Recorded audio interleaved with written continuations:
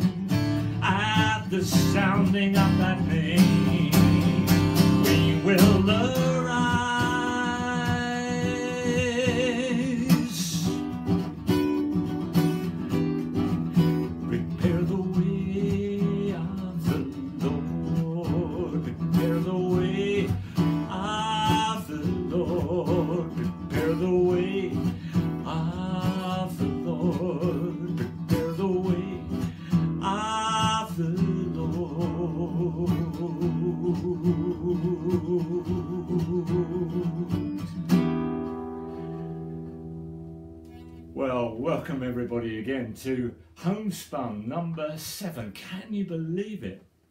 Seven weeks ago we started uh, this series, and um, I just saw it as a one off to start with, but my goodness, it's grown in momentum. And in these uncertain times when we're so many of us around the world are in quarantine, I hope that you find this a, a steady source of, of light and, and love. It's important that we collectively share together. And for those of you who are viewing for the first time, a, a big welcome to you. To those of you who are part of the club, joining with us every week, again, a, bit, a big welcome to you. And it's a great privilege and uh, to be able to share songs and music with you.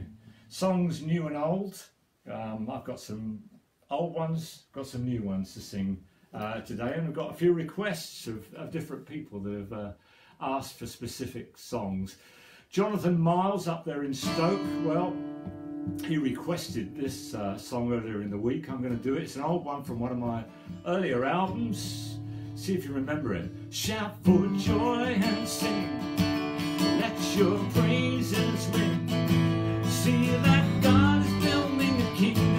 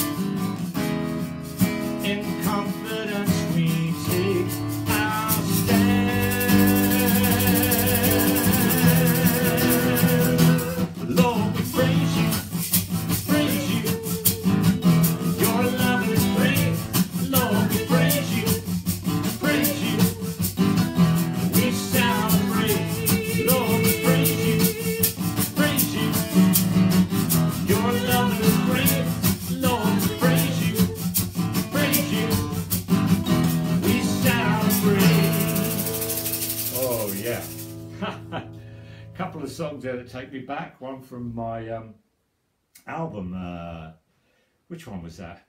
uh, yeah, Army of Ordinary People, and then another album, part of a mystery. Uh, wow, those those songs go back a bit. Hope you've had a good week. Um, yes, this week just seems to have shot by for me. How's your hair doing? Mine's growing again. Uh, not quite off the screen as my son pointed out, but uh, yes, great to be back with you. The week started uh, rather sadly for me because um, many of you will have seen on, on Facebook my dear uh, friend and one of the great mentors in my uh, spiritual life, Maurice Smith, uh, passed away at the age of 93 and he was such a, a great man and such a great inspiration to me. I've known him since I was a, a teenager and um, well he spotted some potential in me and pretty soon started to take me around the country as his sort of singer. I, he would speak for long periods of time and uh, I would sing. Mind you, he was a very sort of spontaneous person, dear Maurice, and uh, sometimes he would be speaking all night and I would just get a song in. Other nights he would have nothing to say and I would be singing all night and he would just say a few closing words at the end. Maurice was a character he was a one-off. And i hope you know in our own journey we have people like that that we see as a source of inspiration perhaps figures who are a little bit older in the faith or you know maybe even younger ones i don't know but uh, people who inspire us and certainly Maurice inspired us because he lived out a life of grace. You will know so many of the songs that i write i have at the bedrock of what i write this sense of god's grace being upon us. Maurice was always uh, fun to be around. He never shirked uh, controversy and he got himself in lots of situations, scrapes and hot water. He had lots of humorous songs and his, his stories will live on. And uh, I reminisced all week really about, about Maurice and the inspiration he was not only to me, but I know to many uh, around this country and indeed around the world. Maurice was a pioneer. He was someone who saw a vision of the church being relational. He was someone who saw a church as being non religious. How Jesus turned things upside down by his pronouncements, by his way of living that shocked so many of the religious Pharisees of the time. He was a well, a, a, speaker, but also a writer. And um, well, I've got actually the very first book that he wrote because he became a Christian in 1955, and he wrote a book which was, um, well, I have to say, it's the worst cover for a book that you could ever have because it certainly was not attractive, this book, although the contents were extremely attractive. This book called 5555, which was the date that he became a Christian, uh, well, I don't know if he saw the cover, and it certainly isn't a picture of Maurice on the front, but this is it, if you can see it there. The most dull, boring cover I've ever seen of a book. Grey, looking fed up, looking monotonous, and uh, well, it doesn't allure you to the book, but one book that he wrote which does allure me to it is one which is called Grace.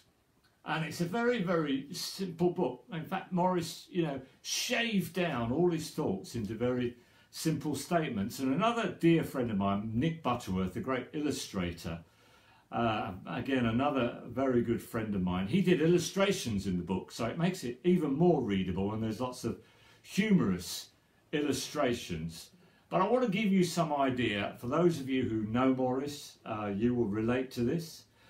Uh, an early pioneer in the house church movement and one who, you know, wasn't afraid of controversy, one who would always welcome new ideas and new things.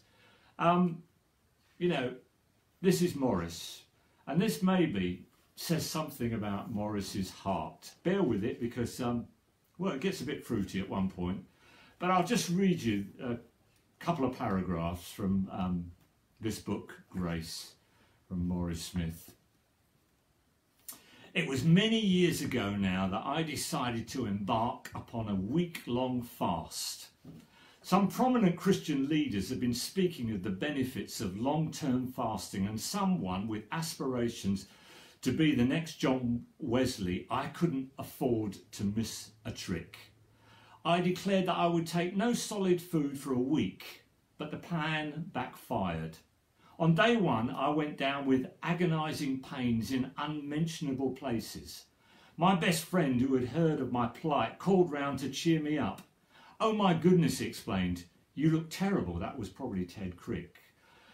The next visitor was my neighbour who was talking who was taking redirected phone calls from me for me. Guess what he said? I've just had a call from a black magic circle. They say they have procured your death. As I said, my efforts were not encouraging. The pain got worse. Finally, at my lowest point, I swore for the first time in years of pious living and told God just what he could do with his high calling. If this was my reward for dedication, then I wanted no more. Stoically, I refused medical help feeling that this would mean I was not trusting God. By day six, I had wilted completely. I belated out my complaint to God in one more penitent term. I failed, Lord. Other men seem to have to press on through, but I but they're made of sterner stuff. Under pressure, I swore at you and I gave up. I'm sorry. I won't persevere with my ministry. I'm a failure. It was then I experienced again one of those rare, precious moments in life when the world seemed to stand still. Whether or not the voice was audible, I will not say with certainty, but I am certain of one thing. That small, small voice said, Don't wor- worry, Maurice. You'll be okay. You have discovered my hobby. I collect failures. Well, what do you know? God is not looking for great heroes, but weak people through whom he can pour his strength. And I know the rest of the story because he then went on to speak the next day to a group of Cambridge students at uh, the university there, and God moved through him in a most powerful way. Out of weakness, we find our strength, and grace means that God comes to us, equips us, lifts us up, and makes us people who are carriers of his divine life. Actually, as a little in, incidental, uh, Nick's um, cartoon here, which I think is great, is uh, a man probably not very suited for a job, looking uh, looking for a job at an interview, and uh, there's the um, the boss who is looking back at him uh, around the desk, and the boss is saying, looking at his prospectus, successful, not exactly, Mr. Smedley. Let's just say you seem to be very well qualified for God's collection. Well, God has that habit of taking us where we are and moving us. And I learned that from Maurice, and I thank God for him, and indeed many others who shine a light and a shine a torch for grace and for truth. And uh, I guess this was the inspiration of this song. The opening track of a familiar album to many of you. There's a new day dawning. There's a fresh wind that's blowing. There's a new wave that's coming of the Lord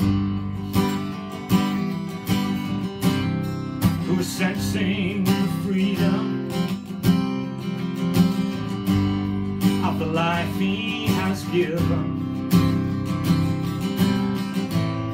It's a time of liberation.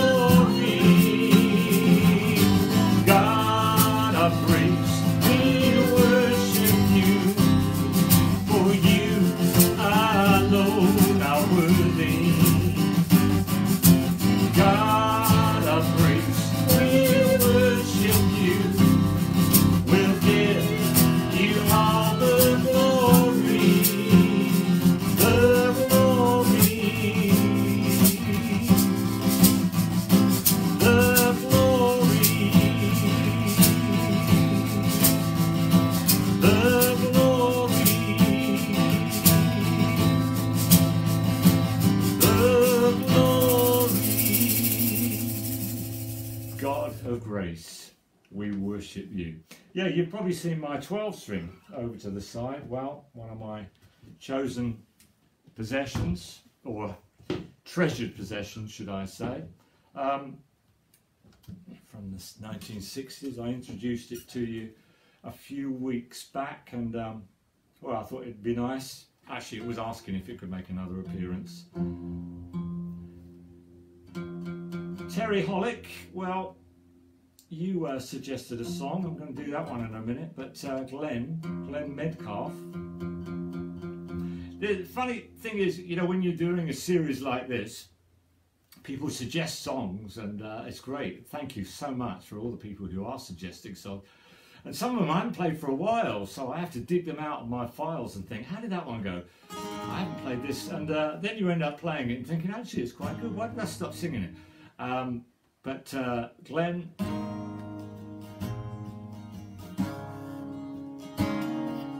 you and all the viewers out there. A song from the album The New Hearts. Where I'm wearing a very cool leather jacket on the front.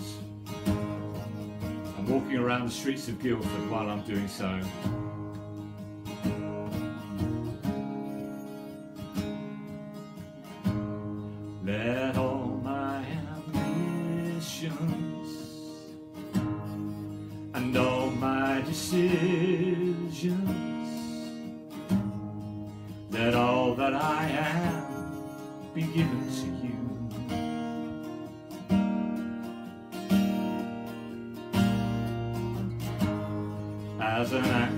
of obedience. I will give my allegiance that all that I have be given to you.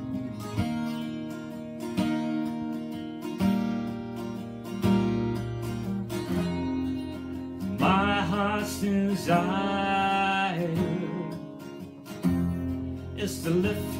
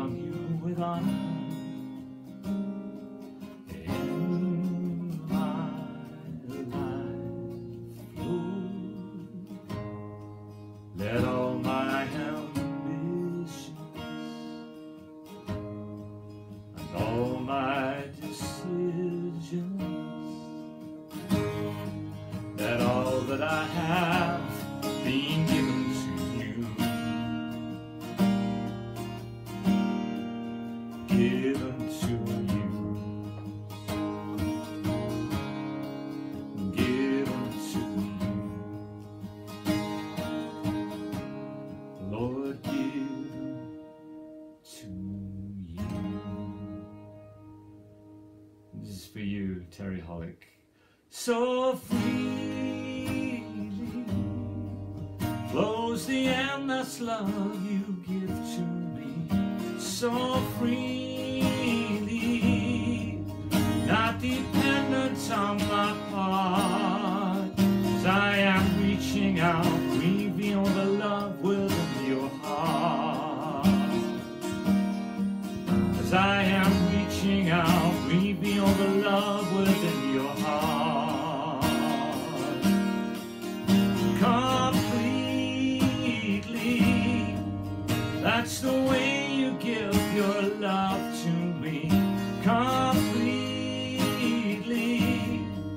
not dependent on my flaws.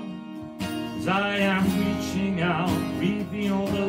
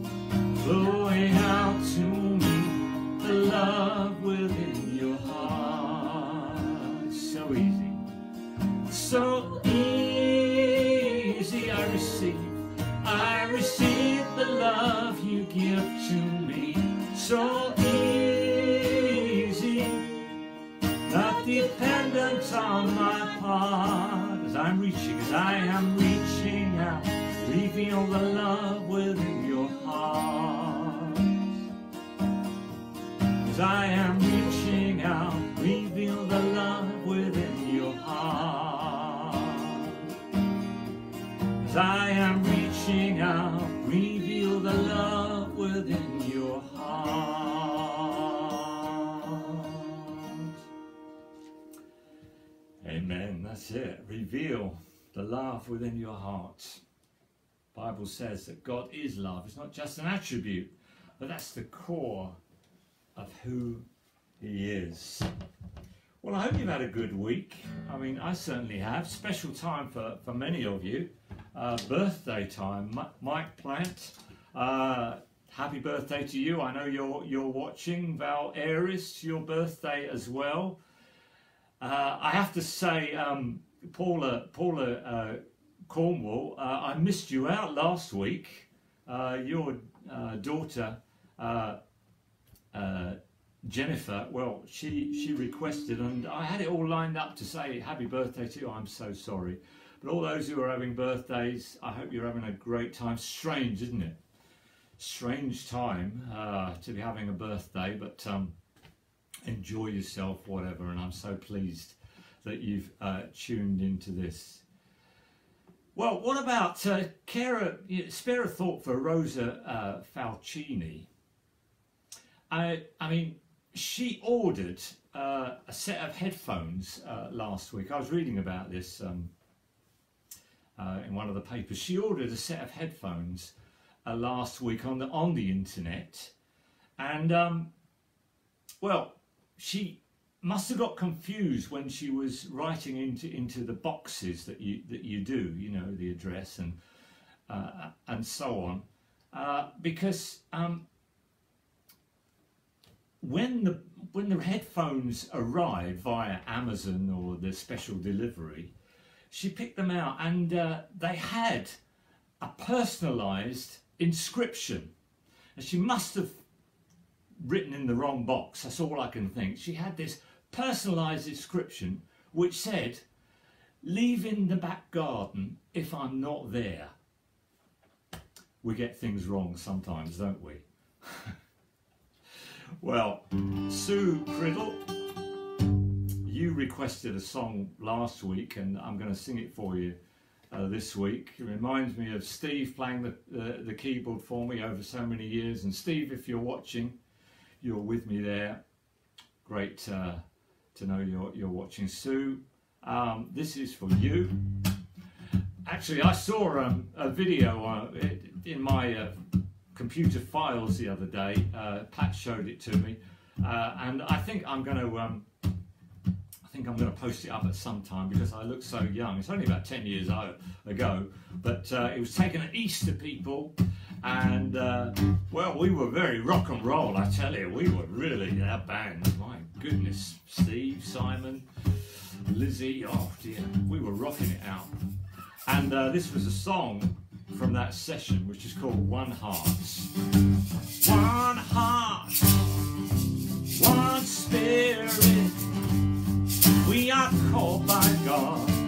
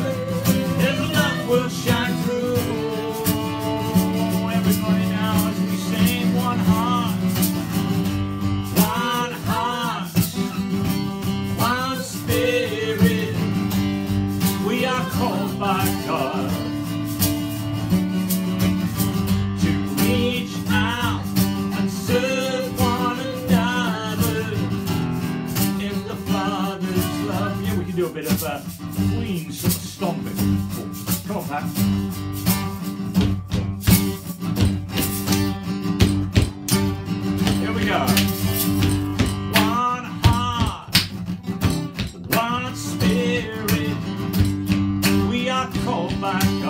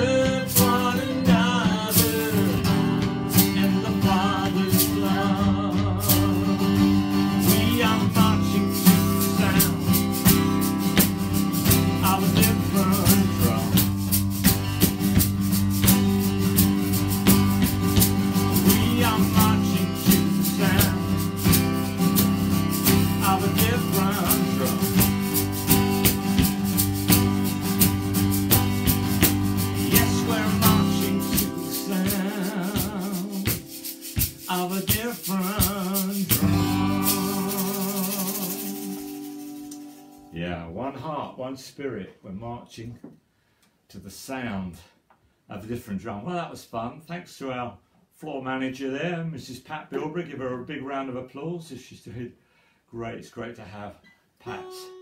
And um, you know, with with Maurice, uh, I was speaking about earlier. Not only did he have an influence on my life, he had an influence very profoundly on Pat's, and uh, we thank God uh, for for that. Um, yeah, I mean, this is really beginning to uh, feel like home uh, being with you. Seven seven weeks in. Next week will be the eighth week. Fantastic. I want to tell you about this podcast series, which uh, I'm going to be starting up um, in oh, 14th 14th of May. It will be going on online, and uh, Ray Hughes will be joining me with a conversation. For those of you who don't know, uh, Ray Hughes is a, a, a real man of worship, but um, a real desire to see that worship spread out into creative ways. He comes from America, uh, born in Kentucky, which means he can really talk, and uh, living now in Louisiana, right opposite, actually, um, right near uh, Muscle Shoals Studio, which is where the Rolling Stones did um, some of their albums, as indeed Paul Simon and um, some other great uh, musicians. It's a wonderful recording studio. And uh, Ray is a musician, uh, a speaker, uh, a bit of a poet, well, not a bit of a poet, a poet, a storyteller. And um, I had a few months ago a, a really good conversation with him that I'm looking forward to sharing on this uh, podcast. It's, it's an in depth uh, uh, conversation, so you know, you need to make yourself a cup of tea and sit there, if you're English, that is, coffee or iced tea if you're American. Um, and uh, give it a good listen. Uh, I've got other people lined up as, as time will go on. Um, Malcolm Guite, uh, a poet friend of mine. Um, wow, he's a, he certainly is someone who can uh, put words together and uh, he's, he's going to be taking up that theme of, of words and the, the power of words in the, the coming months, as indeed uh, Wayne Drain, good friend of mine, uh, speaking about the prophetic. Um, We've got a whole range of people. I won't list them all because I might I might miss somebody somebody out. But just want to give you a flavour of that which is going on stream, and I'll give you instructions how to how to get it, so you don't need to worry. Um, but uh, we're beginning the, the build up for that, and I hope you're going to enjoy it because the idea is to push back the barriers of what we think creative is. We think creative is, you know, standing in a certain way in church with a certain kind of sound in in, in your, your, your band and playing the, the, the now chords of today. But of course, very soon those will be the chords of tomorrow. God wants us to be original. Uh, he wants us to find our voice in, in what we're doing. And um, he wants us to uh, express ourselves in, in powerful ways. Um, David Hall, well, he um, asked me to write a song or suggested I write, wrote a song because, you know, we're, we're part of this uh, these sessions are to talk and think about um, those people who are helping us so much, the key workers at this time, in whatever country we are. We have our national health, we have uh, uh, our care workers who are working in care homes, uh, we have the, the people who clear the streets and the, the, the, the rubbish collectors, all sorts of things. And uh, it, you know, a lot of people shared this this song that I wrote just a few weeks ago in different situations. It ended up Pam Rhodes um, uh, playing the video on her her show on Premier Radio. Um, uh, David suggested it might be good uh, to sing it again, just so that we don't forget about it. So um, I'm going to sing it to you. And it takes up this theme, which is in Isaiah, where it talks about how beautiful are the feet of those who bring good news. Well, these people are displaying and showing something of God's characteristic by sharing mercy and sharing kindness and sharing compassion. So I've just changed it a little bit. Those people who share their skills to stem, stem this tide. How beautiful are the feet of those who share their skills to stem this tide.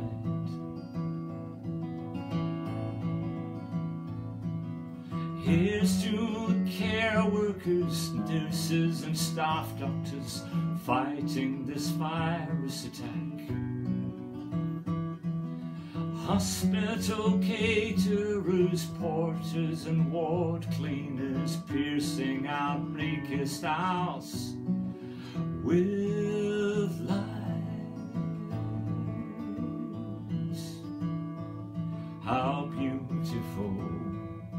are the feet of those who share their skills to stem this tide. Delivery drivers, shopkeepers, and shelf stackers helping us weather the storm. Doing shifts voluntary in this emergency offering practical help to all. How beautiful are the feet of those who share their skills to stem this tide.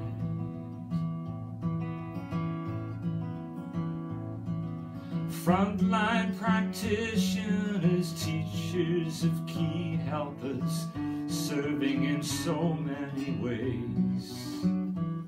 Responding unselfishly in local communities, tirelessly giving themselves each day.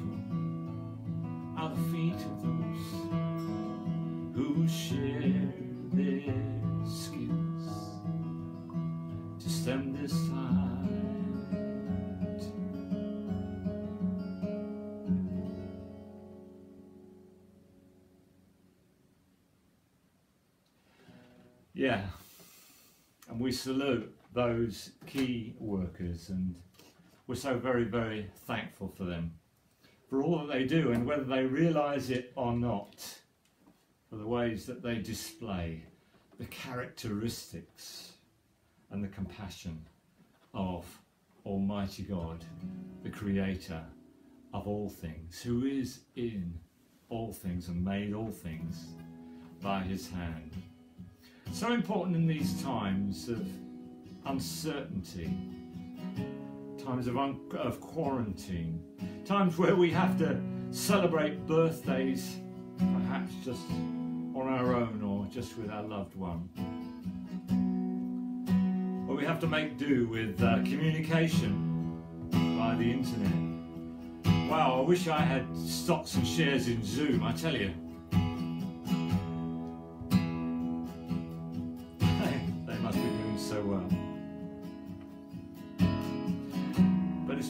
Same, as it? Personal contact is so important. I do my little bit here week in, week out. I hope we feel we belong together. It's a real privilege to serve you in this way.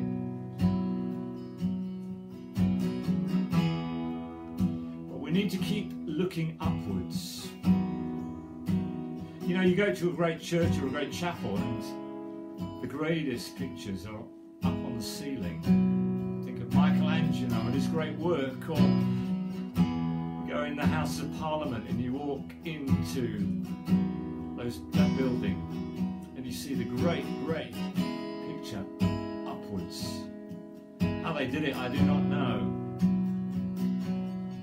But the artists, or the people who asked the artists to do these paintings, they knew what they were doing. Because the greatest work is found by looking upwards. And in these times of uncertainty, we need to be looking upwards. God isn't just up there in the heavens, of course, He's all around. And yet, somehow, as we look upwards, we begin to recognize the power of the gospel.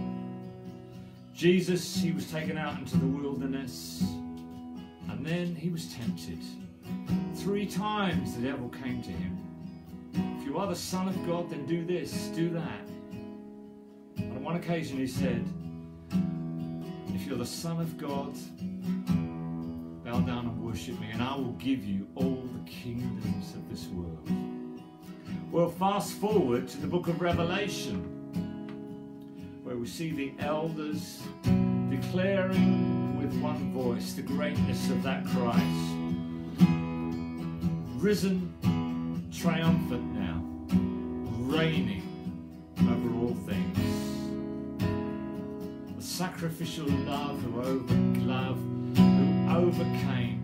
And they sang, The kingdoms of this world have now become the kingdoms of our Lord and Christ.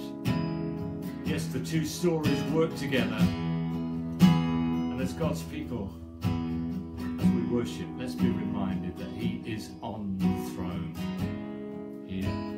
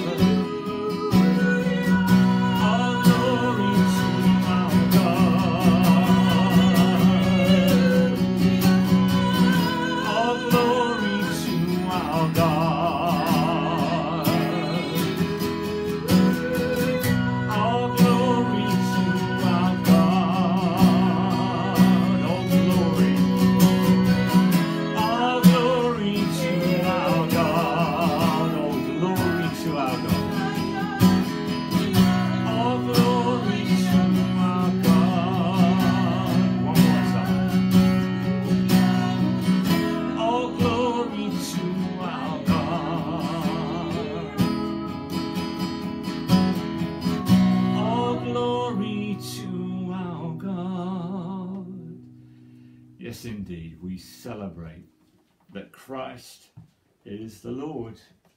And that's what these sessions are about to bring back our perspective. I know, you know, we see it, but sometimes we see it through a glass dimly together to celebrate his victory and his very presentness with us.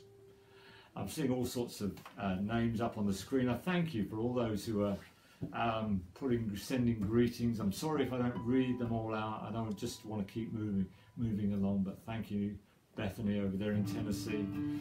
Great to see your name up there. I'm going to finish with one final song. It's a song from again this this album. My, I look so young there. Um, yellow shirt. Dave Bilbrough. This is one of those actually where I this songbook um, I, I, actually uh, sold them all, and there was a, a, a fire at the warehouse um, from the record company and the publishers of, of, uh, of um, so many people's material, and uh, this was, was lost. And uh, I ran out. So I then had to do this peculiar thing where the only way I could get the songbook back was to ring uh, the Christian bookshop in Belfast. I know some of you are watching in Belfast uh, to ring the Christian bookshop and um, get them to send it to me. There's an advert on TV which is something like that where JR somebody, he anyway, um, Charlie Churchill uh, asked me, um, requested this song. It's a song that I love actually, I love singing. And again, it takes up this theme of God being on the throne. And um, we're going to finish with this uh, today. Thank you so much for joining. I look forward to seeing you next week. My goodness, Homespun 8. Can you believe it? It will be next week. Uh, you know, come along, tell your friends. Uh, looking forward to seeing you again. And uh, here we go. It's a song which is called Reigning in All Splendor.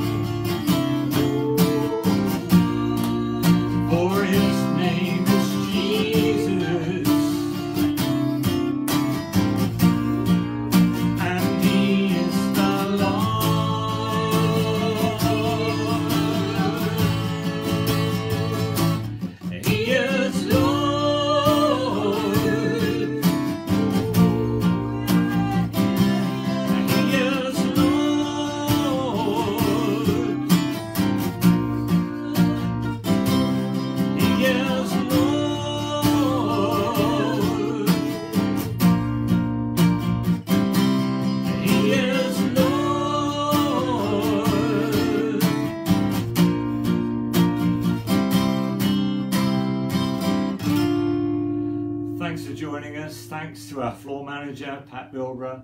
Thanks to Jan down there in Somerset for making all this happen. We appreciate you. Good night, everybody. Have a good evening and God bless you.